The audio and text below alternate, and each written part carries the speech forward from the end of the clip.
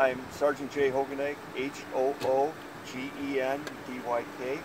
And what we had is a single car accident. Uh, driver, GPS told him to take a right turn and he wasn't prepared for it and he turned too sharp, too much speed, lost control, flipped his vehicle two times, ended up in the ditch.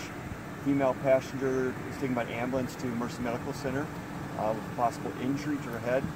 And um, this time our investigation doesn't show any type of alcohol or drug involvement. Um, just appears that he was a little bit lost when he was trying to find his destination. Um, we're probably going to be uh, cited for helping ma- maintain control here at the location. But that's pretty much all I have. So Any was questions? just, just two people in the car? Yes. And, uh, uh, male driver, female passenger. And this happened right about 10 o'clock.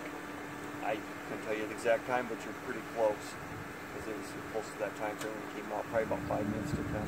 Um, where too much going on this afternoon tonight. Oh, it took off here just a little less than an hour. Say, We're like rushing to every Houses and everything.